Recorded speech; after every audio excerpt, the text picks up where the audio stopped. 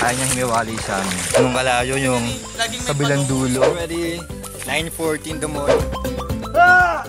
Ako ng ilog, may karga akong aso. Siya yung guide namin kanina pa si Sue. A few moments later.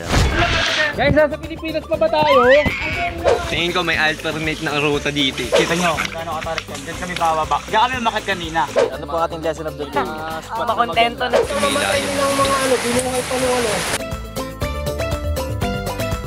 So it's already 9.14 the morning, kakatapos lang po namin mag-almusal. Sayang hindi namin nakuhanan yung almusal namin. Sarap pa naman no. Pork adobo, ang sarap grabe. Talagang lutong bahay, panalo. So here's my squad. Niresume na namin yung paglalakbay namin papunta sa patutunguhan namin, which is Saan tayo pupunta? Mount, ano yun? Mount Kasili. At kasama pa rin namin yung aso. At pinangalanan ko siyang Sue. Sue ang asong taga-subaybay.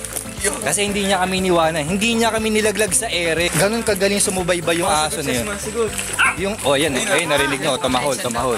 Siya yun, si Sue. Sue, kaya mo yan, lumabang ka, Sue! Tapos? Sue! Pag tumawid ka namin, kami ng ilog, tawid din siya. Langoy siya. Ayan.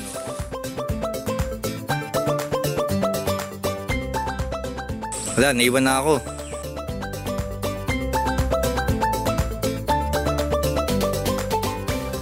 Grabe, ang taas ng mga talahib dito. Matangkad pa sa akin, no? Sinilas ka na